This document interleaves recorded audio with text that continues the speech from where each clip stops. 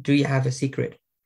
One of the things that I did was put in this book all the secrets that I have for conversation. Like there was one that people had seen, but I don't think most people realized. Like if I want to ask a personal question, I'd say, um, "Do you feel comfortable talking about how you and your wife broke up?" And people would see that suddenly we were getting in a conversation with a stranger who told us about how he and his wife broke up, and it was like, "How does Andrew do it?"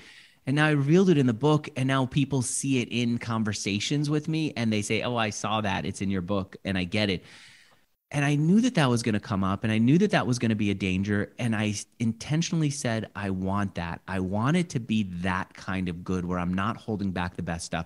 I've interviewed authors over the years, and the ones who have these crappy, like gimmicky, lead magnety books are the ones who don't reveal the depth, the secrets, the painful stuff that they know almost ruins their mojo because what they're trying to do is promote themselves instead of help promote the person who's reading. And I intentionally decided I'm not going to do it, even if it means that everyone sees and how I'm doing things. Some people copy it. Other people might call me a manipulator for doing it. I wanted that out there on the page, and it's there.